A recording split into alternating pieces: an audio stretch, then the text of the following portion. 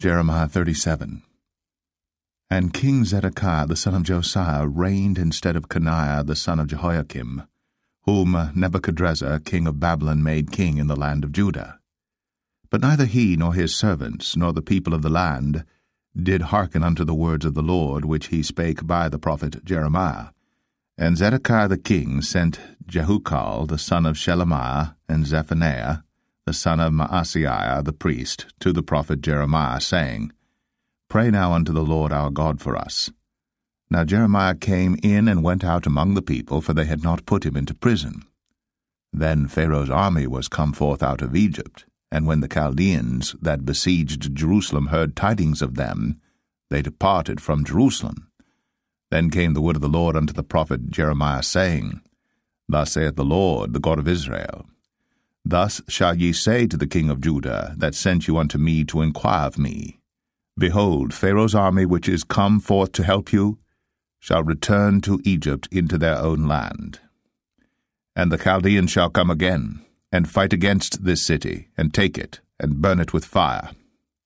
Thus saith the Lord, Deceive not yourselves, saying, The Chaldeans shall surely depart from us, for they shall not depart for though ye had smitten the whole army of the Chaldeans that fight against you, and there remained but wounded men among them, yet should they rise up every man in his tent, and burn this city with fire. And it came to pass, that when the army of the Chaldeans was broken up from Jerusalem for fear of Pharaoh's army, then Jeremiah went forth out of Jerusalem to go into the land of Benjamin, to separate himself thence in the midst of the people. And when he was in the gate of Benjamin, a captain of the ward was there, whose name was Irijah, the son of Shelemiah, the son of Hananiah. And he took Jeremiah the prophet, saying, Thou fallest away to the Chaldeans. Then said Jeremiah, It is false, I fall not away to the Chaldeans. But he hearkened not to him. So Irijah took Jeremiah, and brought him to the princes.